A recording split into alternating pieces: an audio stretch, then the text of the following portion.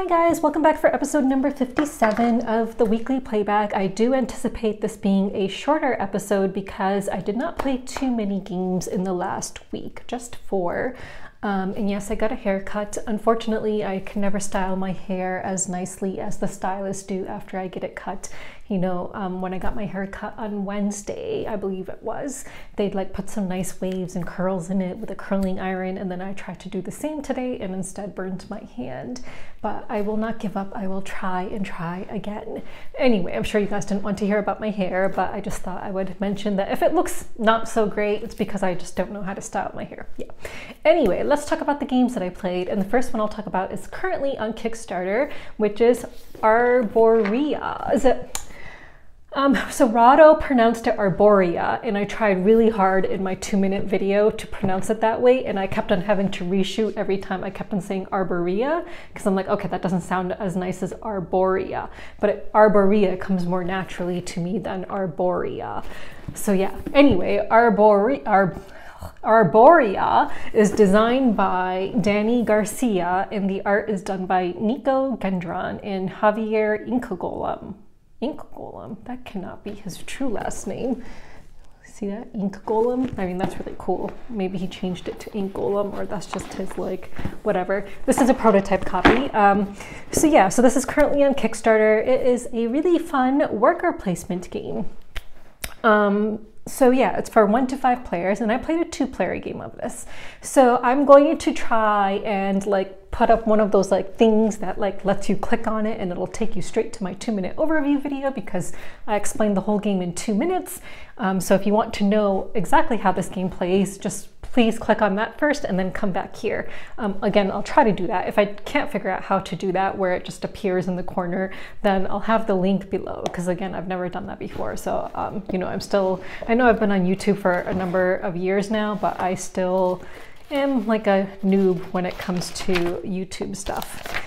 So anyway, um, this is a fun game. It's a it's a worker placement game in which you are placing workers on like different tracks and everyone's workers goes go on these pilgrimage tracks. And if someone chooses to push a pilgrimage track your workers get pushed along with it too. So it's really cool. Um, um, and then there there's like tile placement involved. So you're trying to complete these like ecosystem cards and then you're going to flip them over and you're going to try to place the cards in such a way that you'll be able to get more and more creatures into your own ecosystem and score points.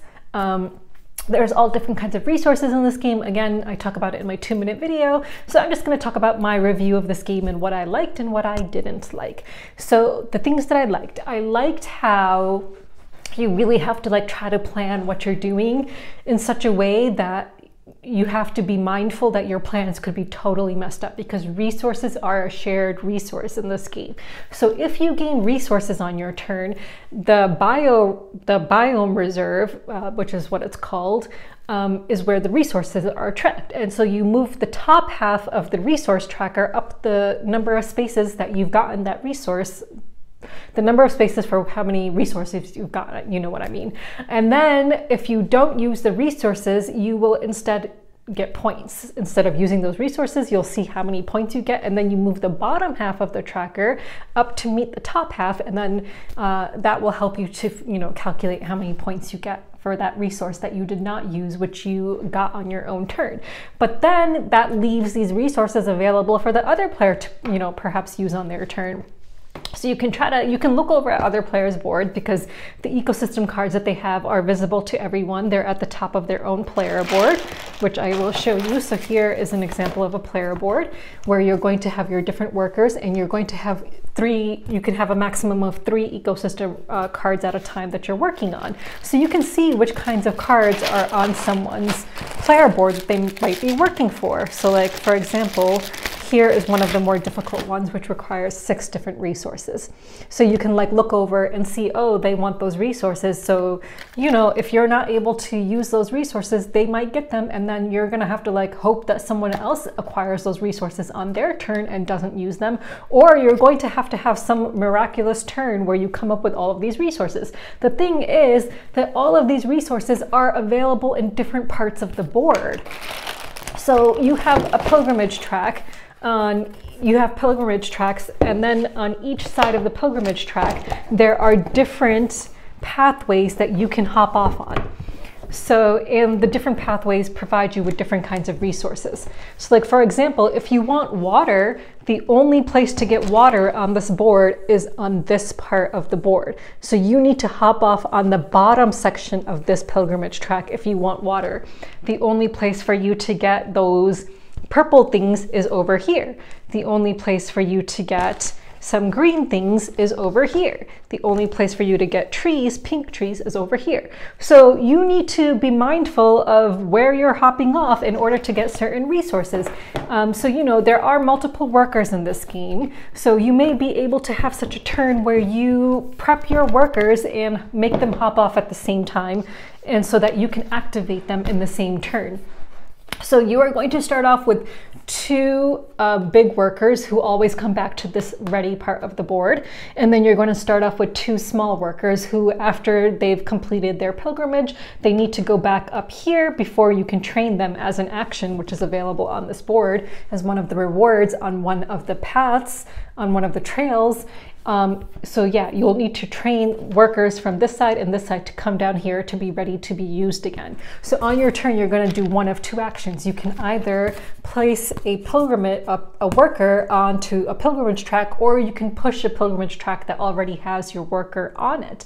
So you really have to start planning out like, okay, how am I going to get these resources? Is someone else going to use the resources I need? How can I make sure that, you know, if I'm fulfilling a certain card, I have workers hopping off in certain areas to get me as many resources as, as I need in order to complete those cards so that the game doesn't end.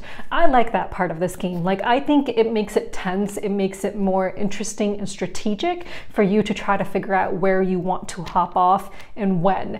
And the fact that other players are going to be pushing the pilgrimage tracks as well just adds a more fun element to the game game. So anytime a pilgrimage track is pushed, you can make your workers hop off. So even if you're not the one who pushed it, um, you can hop off at any trail that you are current trailhead that you are currently at or have passed.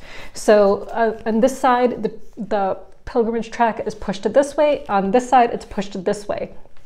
So like if it was pushed and I was here, I could choose to hop off here or on any of the trailheads that I've already passed. And then as the second part of your turn, because your turn uh, is completed in four different steps, you activate any workers that are on, on trailheads. So you might have three workers that you get to activate and you get to decide in which order you want to activate them, which again will help you to hopefully complete ecosystem tasks, to get those cards into your ecosystem, to hopefully get some creatures. So uh, when you get a creature First, the creatures have to go to the borderlands, and anytime a creature goes on the borderlands, you get a reward. And if you're the first one to place it there, you'll get a better reward than what's shown here. There's like little tokens that you have to put there. They're super tiny, by the way.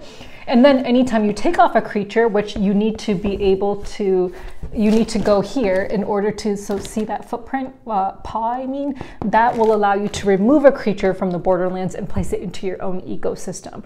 So you know, in order to do things in the scheme, you basically have to plan carefully which trailheads you want to hop off on. And the longer you stay on a pilgrimage track, the greater the rewards. You'll get more rewards if you stay on longer. But of course, you know, that will take more time.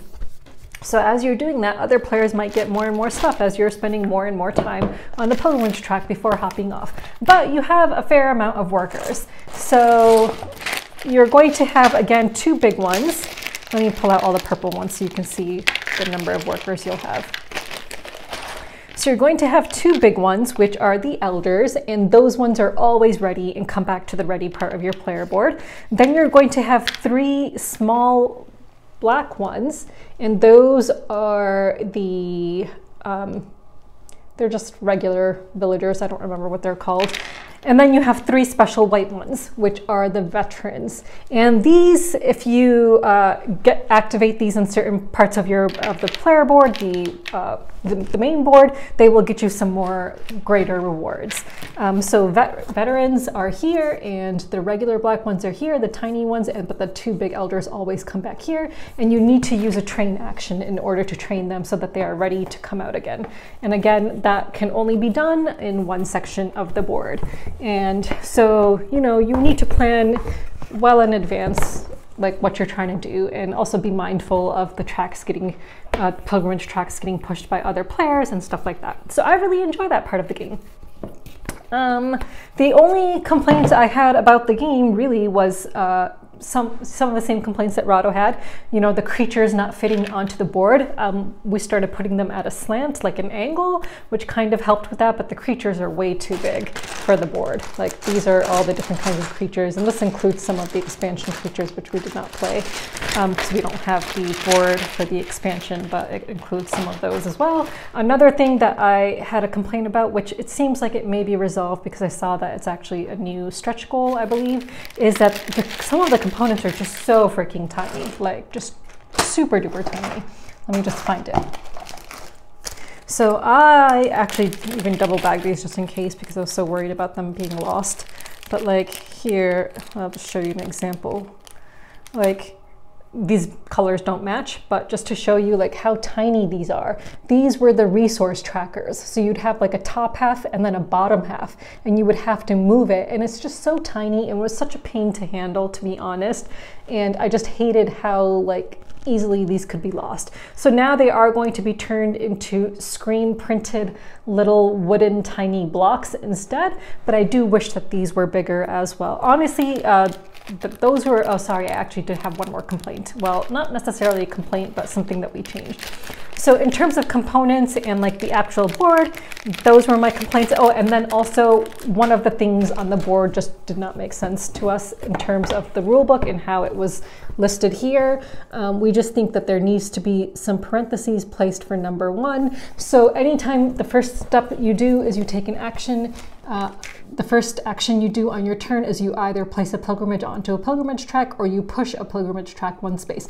Then you can pay three spirit to do one of those again. This did not seem to, you know, this like line here for us did not mean that. Like it was just confusing the way it was written. So I mean, I've messaged, uh, you know, the owner of Alley Cat Games, but I know that he has yet to read my messages. so I don't know if he'll ever read these, but um, but I hope that that gets fixed because it just doesn't make sense to us the way it was written on the board. Um, and we just kept on referring back to the rulebook. Um, in terms of gameplay, we played a two-player game of it, and as I mentioned before, anytime a creature is brought to the Borderlands, that advances the game end uh, marker. So there's a game end marker, and let me just put these creatures back before I show you that, not creatures, workers. So uh, there is a, the game end tracker is up on here on the player board. Nope, that's the wrong side. So here is the game end tracker. And depending on player count, you're going to place the sun marker in one of those spaces. So for a two player game, it was placed, sorry, not there. For a two player game, it was placed over here. And anytime a creature was uh, sent to the borderlands, you would move the sun tracker over one space. And once the sun tracker reaches the end, the game end is triggered. We kept on ending, you know, we kept on sending so many creatures to the borderlands. Like it just kept on happening like because there's spaces all in all of the different like um, trails for that to happen. And so the game end was approaching way too quickly and we just felt like we were not like making any progress in our own ecosystems with the different creatures. So we didn't want the game to end that quickly. So what we did is um, we actually pushed the sun tracker back five more spaces so as though we were playing a three player game when in fact we were playing a two player game. So we made the game longer, which we were happy with. And then when the game ended as, you know, when it did with the five extra like turns, whatever we had, it could have been more than five turns because it depends whether a creature was recruited in a certain person's turn or not.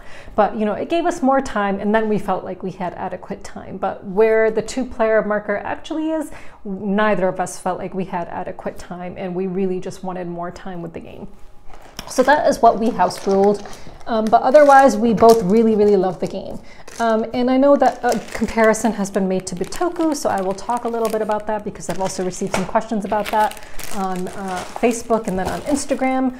I don't think there's any comparison to Bitoku. The only comparison is visually. Yes, they're both worker placement games with like fantastical creatures in it, but Bitoku is a much heavier game um, and I think if you want something that is like very bright and bold, where the board looks busy, um, and you are trying to choose between Bitoku or Arborea or Borea, then um, depending on how much time you have, I would pick one or the other. This does not do away with Bitoku for me. Like I still really love Bitoku. I think they're different games and they have some different mechanics going on in them. So this does not kill Bitoku for me. It does not replace Bitoku for me. It's just another fun game with beautiful artwork, like stunning, bright, bold colors that is also worker placement with like fantastical creatures in it. And depending on whether I want to play something heavier or something a bit you know, not as heavy and how much time I want to spend on a game, then I'll pick one or the other. But it does not kill Bitoku for me. I think the only comparison that can be made is that the colors are bright and bold and they have like you know, fantastical looking creatures in it. Otherwise, they're two completely different games, and I don't think it can kill Bitoku, and I don't think it will. Um, so for people who play this game, who've also played Bitoku, you know, I'd be, I'm curious to hear what they have to say. I know Rahdo said it's a Bitoku killer, but I, I disagree. So I guess once it's published and more and more people play this game, then I guess we can, you know, get a better idea of what people think about that. But for me, it does not kill Bitoku. Um, so yeah, so that was Arborea or Arborea, depending on how you want to pronounce it. So yeah, so this is currently on Kickstarter. The next game I will talk about, I don't know why I said I like that as though someone else is here and ready to talk about games. That is not the case. But the next game that I will talk about is Lisbon Tram 28. Now, if you guys watched a recent video of mine, um, uh, this is a game I received recently from Eagle-Gryphon Games. So it's actually published by MEBO Games, but Eagle-Gryphon Games is a distributor of this game. They also distribute um, Porto, which is also published by MEBO Games, I believe. And Porto is a really great game, which also happens to be Portugal themed. So Lisbon Tram 28 is a 2021 game for two to four players designed by Pedro Santos Silva, and the art is done by Andre Fernandes Trindade. Um, hope I pronounced that right. And again, it's published by MEBO Games. Now, this is a route building, like point to point movement, hand management, pick up and deliver game. This was at PAX Unplugged in 2021, and I saw it there and I really wanted to play it. I did not get a chance to play it, and it was like really high on my wish list, and I just really wanted this game.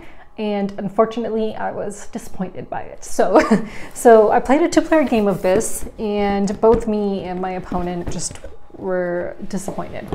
Um, to me, it felt like this game needed way more playtesting.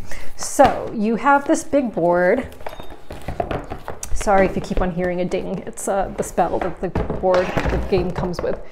So um, depending on player count, you'll use one side or the other. So this is the board for a two player game. And on this board, you're gonna have different stops which will have passengers on it. I'll post a picture. And then you're also going to have different stops that are like these oval colored spaces. There's four of them where you can try to get a bonus on your own player board. And then you have different monument locations where you are trying to drop off passengers. So there are four different colors of passengers. There are, and they're all going to be in this bag first. So there's blue, green, red, and yellow. And of course I didn't draw any yellows, but there are yellows and yellows. So those are the four different colors of passengers. The four different player colors are like this dark blue, pink, aqua, and like a mustardy yellow color. Um, you're going to be using these cones to indicate where the monuments are on the board where passengers want to be dropped off at. Um, so this is a player board and Unless you upgrade, you can have two, uh, two passengers of each color. If you upgrade, there's different upgrades you can use, um, again, by going to those oval spaces, and I'll explain how you need to do that. That might allow you to get more passengers. It may also allow you to do some other things, like move your tram in extra space, or you know, do whatever. There's like four different things you can upgrade. So let me just show you some cards. So here are monument cards. So you're going to have three monument cards in a two-player game out in front of you, on the board I mean, and they're available for any player to try to fulfill. So you're going to place a orange cone at the location and then you see which passengers you need to drop off in order to get that monument card. What you're trying to do with these monument cards is uh, make connections. Like so for example, And once you place down a monument card, you can't move it. And then if you get a new one, you can place it next to that card. And then in addition to getting the points that are on that monument card, you'll get one additional point at the game end for each complete ticket that you have by connecting cards like that. So then like, let's suppose I put this one here. So then that would give me another two complete tickets, the red and the yellows, and I have the blue and the green here.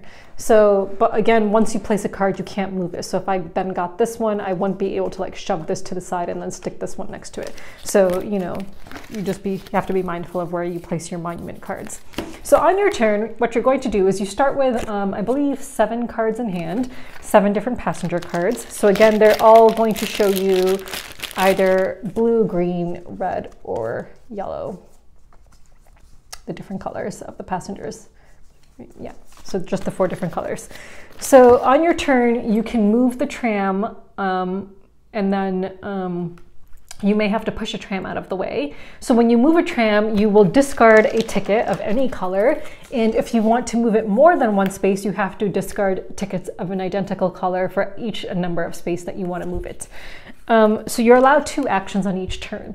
If you have to push a tram out of the way, they will get to draw a card from the draw pile, like a ticket card.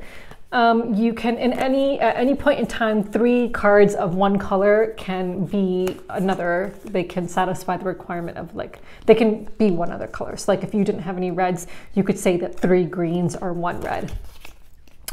Um, you can drop off passengers at monuments, and I just showed, I already showed you the monument cards. You can pick up passengers. So in order to pick up passengers, you will stop and then you will have to discard a card for each passenger that is there.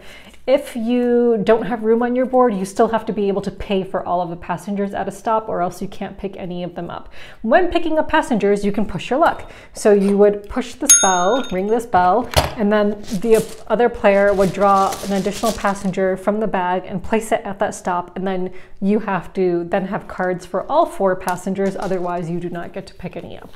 And you know, I suppose in a game, uh, if more people decide to push their luck and they aren't able to pick up all the passengers, then there may be a situation where you have more passengers in a certain location, but the game starts with three passengers in each location.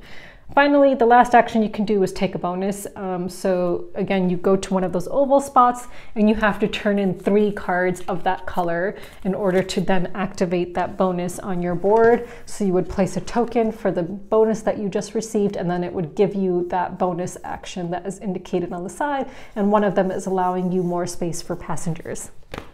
So those are the four basic actions. My opponent and I, we did not like this game. So the game end is triggered once the last face-up monument. So you, uh, depending on player count, you place the monument cards, a certain number of them face up in the draw pile, and you'll always see which one is coming up next. So you'll have three out and then one face up next to it, which you're not allowed to fulfill at that time, but you can see which one is gonna be coming out. And then the game end would be triggered once the last face-up card is put into one of the three slots. We ran out of passengers well before that would have happened. Like there was no more passengers left to pick up on the board, like none. Like so, you know, maybe we weren't pushing our luck enough. I don't know what was going on there, but we then went on to BGG, to the forums, to see what happens then, and there wasn't even a question about it. So um, I just think that this game does not play well at two players. I did see someone else's review that said it doesn't play well at two players, and so I suppose I'd have to agree with that because you know the rule book doesn't address what to do if you run out of passengers on the board because at no point do you replenish passengers. It's only like if someone's pushing their luck, you get to draw an extra passenger for them to try to pick up, and if they don't, then it may be left behind. Um, you know, in certain instances, if you're trying to pick up passengers and you can't get all of them because you can't fit all of them on your board, then you may have one left behind. So you might be able to go there, like another player might be able to go there and try to pick up that passenger and push their luck maybe in hopes of getting a second one. But really, there's no way to bring out new passengers on the board. So you're you have a limited number of passengers around the board to pick up, and then you're trying to fulfill these monument cards, which you're trying to get to as quickly as possible. And you know, that's just really based on luck, like which ones are coming up and which ones are closer to which player. It's just, it just felt like very luck based with not much strategy. And I just think that there are much better train games out there with a similar premise that I have enjoyed a lot more. So unfortunately, this was not a win for me. Um, I really wanted to like this game because I have been to Lisbon and I liked you know, going to Lisbon and I don't know, this game had good reviews and I really thought I would just really love it. Um, but I just didn't, and I'm sad about that. it's, it's, you know, it's sad when you really look forward to a game and you get it, and then um, in this case, I was lucky that it was a review copy and I didn't spend my own money on it. Um, but this game really made me question why, and I know this is probably going to sound really harsh, but it really made me question why this was even published to begin with, because I think that there are so many other games with a similar premise that I've played that I think you know are better. And i know games are you know your opinions of games are totally subjective. So there's obviously people who love this game and who have rated it a 10 on bgg um, i would not be one of those people. Again you know your opinions are completely subjective. But for me i was like why was this even published? Like i just couldn't understand. Um, you know and this is just like it's a gimmick you know. Um, anytime like you end up uh, wanting to push your luck, or I believe it's when you push someone's tram, I think you also hit the bell or something like that. So there's like two instances in, in the game where you hit the bell, but it's not like that super exciting. So, I mean, maybe if you play with kids, they may want to hit the bell, and maybe that would be an exciting part of the game for them. For me, it was just like, eh. Um, so yeah, so I was, you know, I was disappointed by this game. It's not a game I would ever want to play again, even at a higher player count. Um, so unfortunately, it was a miss for me, and I'm, I'm sad about that um, because you know I did ask the publisher for this game for this review copy, and they were really kind enough to send it to me. And it's just sad when you know it doesn't work out.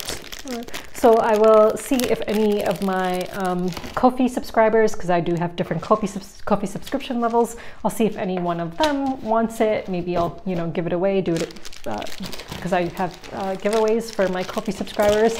So I might give this in a giveaway if any of them are interested in trying it out. Or if not, then I'll probably like donate it um, to my, you know, to like a local game store or something like that. So that was the other game I played recently. Well, one of the four games I played recently. Um, and then moving on. So yeah, as always, if you guys have any questions about any of the games I talk about, feel free to ask. Um, another game I played recently, oh no, I just pushed the camera. Sorry about that, guys. Another game I played recently, um, which I've played before and have discussed on this channel, is Mythic Mischief. And Mythic Mischief, uh, let me see if I can just pull up the information. So I tried, I wanted to play with a faction that I hadn't played with before, so, um, which I did, which was a faction that I was not that keen on, to be honest. Because why can I log in? Come on, dude. Okay, Mythic Mischief. So Mythic Mischief is a 2022 game designed by Max Anderson, Zach Dixon, and Austin Harrison, uh, published by IV Games, um, and it's for one to four players. So I describe this as being like chess set in a library with uh, mythical creatures. Um, and you know the really cool thing about this game is like not that I've ever done this and we've it's never happened yet, but it comes with enough components for there to be going for there to be two games going on simultaneously.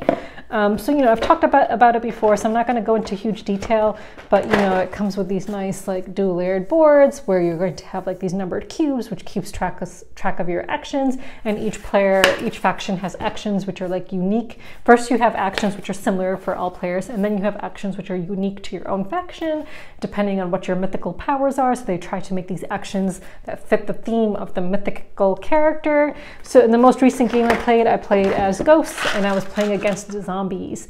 So these are the ghosts. Um, are these the ghosts? Yeah, these are the ghosts, I think. Um, I felt like they might be glow in the dark, but they weren't really glowing in the dark. Maybe you need to put them in front of the light for a while before that to happen. Did not really enjoy playing as ghosts. Um, I think I'd like to go back to vampires or something else the next time I play.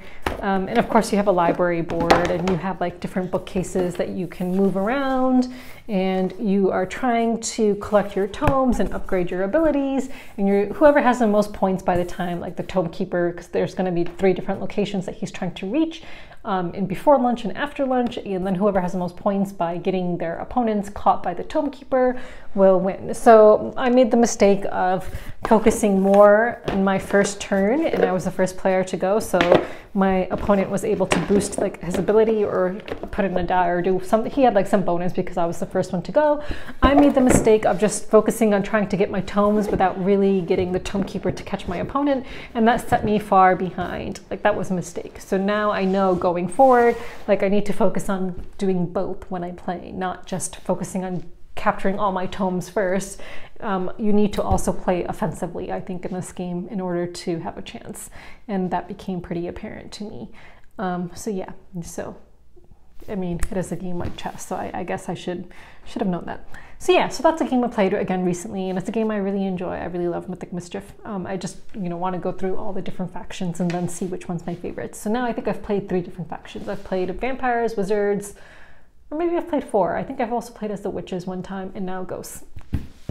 Uh, so moving on, another game I played recently is Cartographers, um, which I used to play a crap ton of during the pandemic, um, during lockdown when that happened. Um, so Cartographers is a 2019 game. It's designed by Jordy Adan and uh, uh, the art is done by Luis Francisco and Lucas Ribeiro, and it's for one to 100 players. it's a flip and write game. Um, so I'm just going to talk about it briefly because I know everyone knows, or almost everyone knows, what cartographers is. We made the mistake, well, I suppose I made the mistake because my friend had never played cartographers before and he really wanted to try it, and I played it so many times, and I felt like I didn't really need to look at the rules because, like, I'm like, oh, I've played this so many times. But I made the mistake of uh, putting in all of the um, uh, ogres, I think they're ogres or whatever, like the monsters, put in all of the monster cards in the deck and like all of them came out in the first season. It was ridiculous. And i also made the mistake of not just putting in all of them in the first deck but also monsters from the expansion. So more monsters than the game even called for. And then it's only after we ended up drawing like six monsters in the first season and then we're like what is going on? Like you know there's no space left on the board anymore for us to even draw our territories because we had six monster attacks in the first season. And that's when I went back and looked at the rule book and realized, oops, was not supposed to do that. So yeah, so um, should have refreshed my memory and read the rule book before we started playing. Um, but yeah, so that was fun.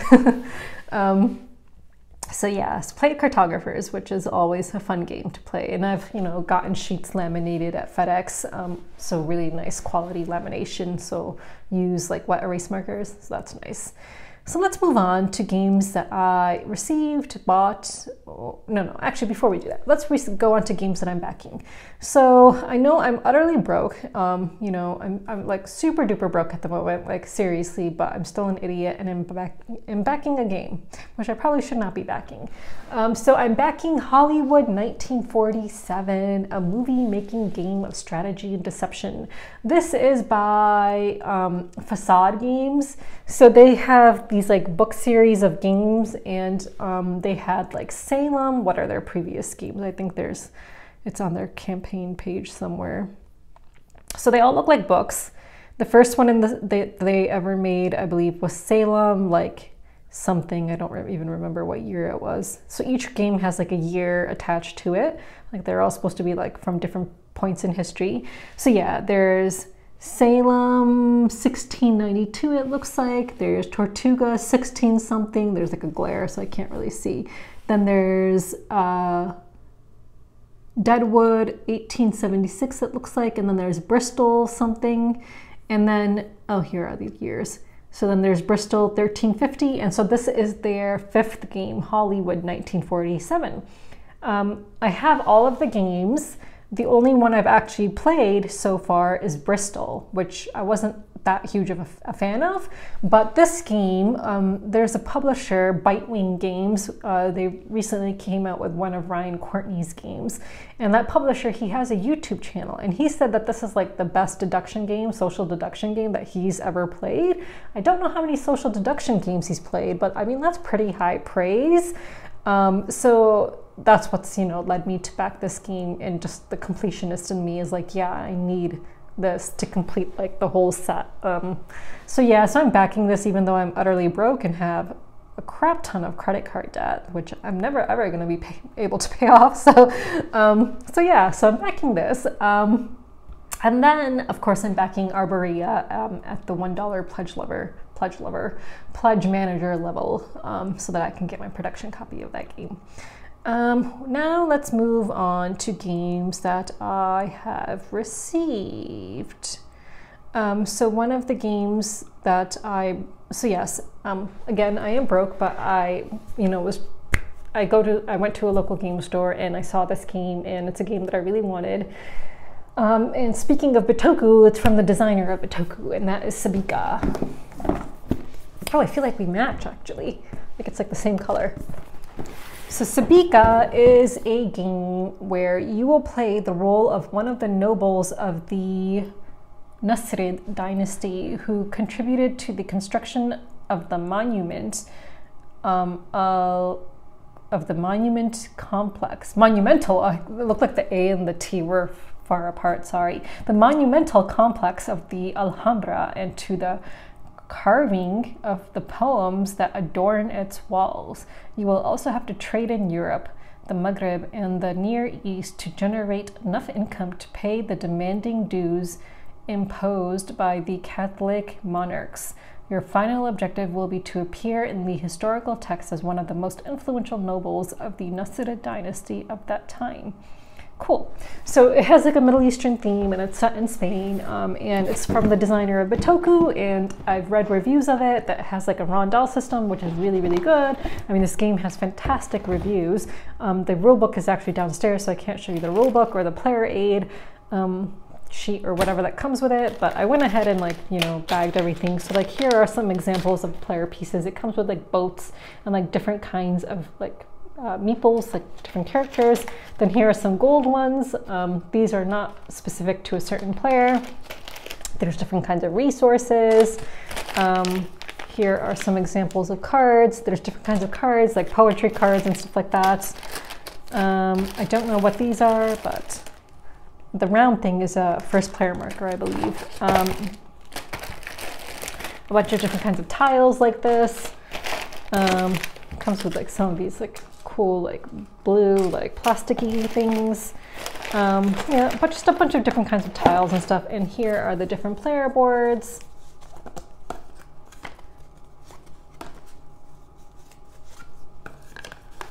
And then the main board, which is really big, so I'm not sure I'll be able to open it. Um, oh well, yeah, this is huge. Okay. So I think depending on the player count, you're going to have one side or the other um, because the other side looks kind of like the same. So yeah. So I'm really looking forward to playing this. Um, again, it's from the designer of Bitoku and I hope it's good. It's gotten really good reviews. Um, and you know, it comes with different um, language rule books, so and then also it comes with a nice bag in which you place something. Oh yeah, different resource tokens. Yeah. So that is Sabika, which I'm looking forward to playing because I've heard good things about it. So um, really want to see how this plays. Yeah, so that's uh, all I have to show this week. I do have Shem Phillips's new game, which will be on its way to me. So as soon as that arrives, I will show you guys, which is which I'm really looking forward to playing because you know, and also it's you know within the theme of the Middle East, and that is going to be Scholars of the South Tigris. So as you guys know, he did Wayfarers of the South Tigris, which I covered for Kickstarter and absolutely loved.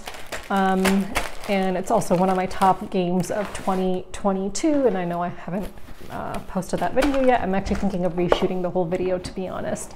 Um, so I'm gonna, actually gonna do that. I'm gonna try to do that this weekend to reshoot my whole top uh, 10 of 2022 video.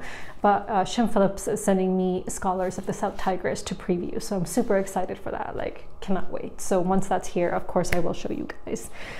Um, so those are all the games I have to show you this week. And as far as um, an update on my life, I've noticed that um, or rather my studio, whatever, everything. Um, actually, there's a couple of updates. So the first thing I'll say is that unfortunately, I had mentioned a couple of months ago that I had gotten a job with the publisher as kind of like their marketing, like social media person, and I never mentioned which publisher it was. And now I won't. I won't mention. It. Some people might have figured it out though, if you were like kind of like you know a bit um, of a, a, detective, you might have figured out which publisher it was. And it's a publisher of like these really great like midweight Euro games, and I thought it was a really good fit for me. But unfortunately, with the Funagain announcement, they said that they had to let me go because it's really put them in a really tough financial spot. So um, you know, I understand. It's just really, really unfortunate.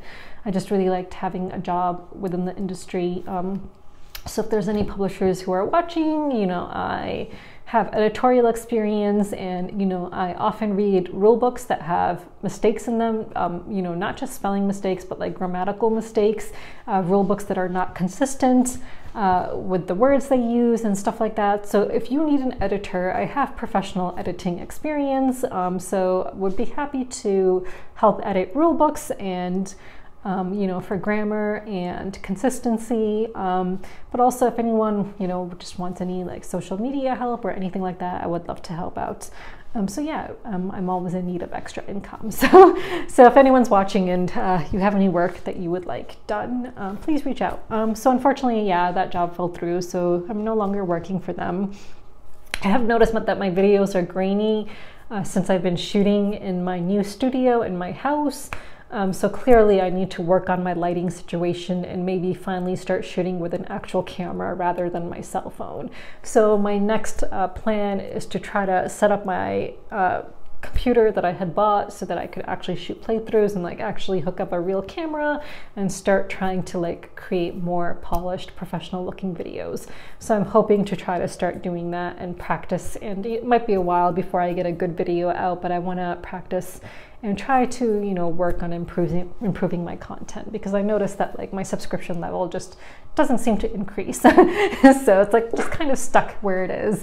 And then I see these other channels and they have like you know they go from like 100 subscribers to like 10,000 in like a matter of weeks and I'm like great I've been stuck at like 5,000 something for a very, very long time and it's just not going anywhere.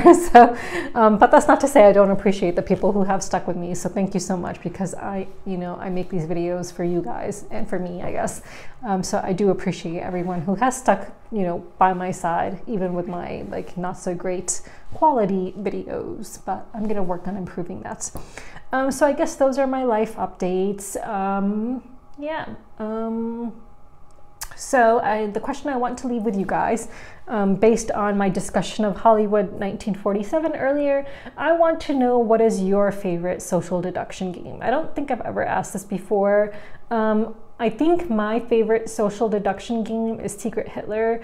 Um, I have so many fond memories of like playing that with like uh, my gaming group like from years ago we used to have so much fun playing it. And then the pandemic happened and then we just you know stopped playing it but it's been a really long time since i've had like a really fun game of secret hitler but oh my god we had so many great games of that. Um, and I would really like to reskin mine to Secret Voldemort, um, but you know, there's no printer who will actually print out the uh, files because when that was available to download, I had actually downloaded the reskin so that I could hopefully um, convert my Secret Hitler into Secret Voldemort, but um, I don't have like a really good quality printer to print out that stuff myself, so I wanted it printed at a shop, but no shop will do it because of the copyright issues, of course. So yeah, um, but yeah, I'm, I'm really curious. What is your favorite social deduction game? Because um, with Hollywood 1947 and this one guy saying it's probably his favorite social deduction game that just got me thinking about that. So let me know. I'm not sure what other social, I mean, I've played a number of social deduction games like Avalon. Um, I still never, I still haven't played with my like big box Avalon, which I would really like to do sometime, especially since the artwork is done by my favorite artist, my, one of my favorite board game artists, Weberson Santiago. What other social, I mean, of course there's Werewolf, um, yeah, Coup. Um, yeah, so let me know what your favorite social deduction game is. And until next time, bye.